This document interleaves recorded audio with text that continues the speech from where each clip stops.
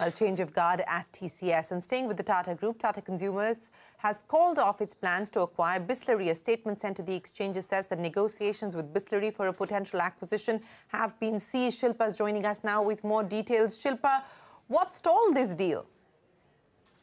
Well, there were already reports, in fact, about two weeks earlier that the, uh, that the deal between Tata Consumer and Bisleri was seeing some concerns. There was a stall there. That's what reports had suggested, and this was over concerns over valuation. Now, remember, according to uh, what has been reported so far, the deal was supposed to be valued at about $1 billion. And uh, what we're given to understand is that both parties were not able to agree upon a valuation at which the deal would have gone through. And because of that, there was, uh, the deal had stalled. However, there was no official word from Tata Consumer or Bisleri at the time.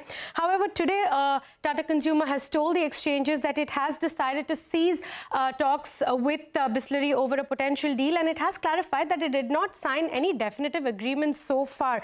Now, if you look at it, Bisleri in fact would have been a very good addition for uh, Tata for the Tata Group, which has been growing its packaged water business also. Right now, it has that under Himalayan Natural Mineral Water.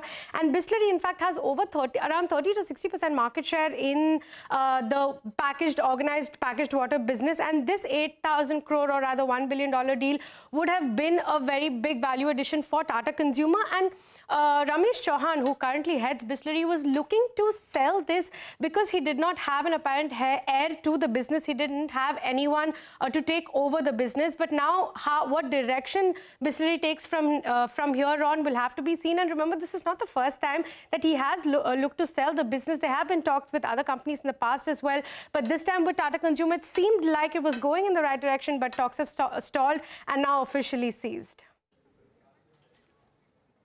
All right, Shilpa, many thanks for joining us. Appreciate